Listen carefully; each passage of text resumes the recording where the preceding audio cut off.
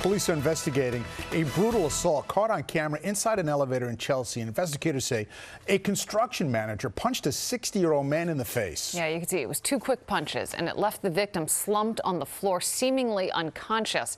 Eyewitness News reporter Michelle Charlesworth spoke exclusively to the victim's wife, who says his life is never going to be the same. You can li- lose your life in a moment. This brutal attack on February 2nd of a disabled 60 year old stroke survivor is at the heart of this case, according to attorneys. This is Richard Regen's elevator in his apartment building, where he was attacked, punched twice in the head until he fell unconscious. Caban attacked Regen completely unprovoked, punching him twice in the head before fleeing the scene as Regen laid bleeding unconscious in the elevator. The Regens have lived here on West 23rd Street for 25 years. They've lived in that apartment that long, and they've always felt safe.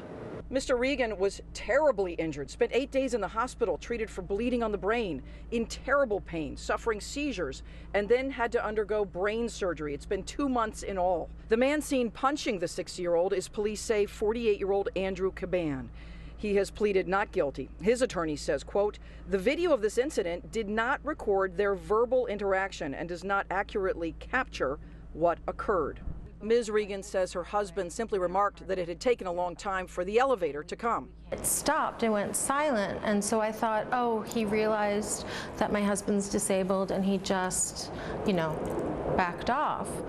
But no, he was unconscious. That's why it was quiet. The attorneys for Richard Regen are going after the alleged assailant, the construction company he worked for in the apartment building, as well as the management company. There was no exchange of angry words.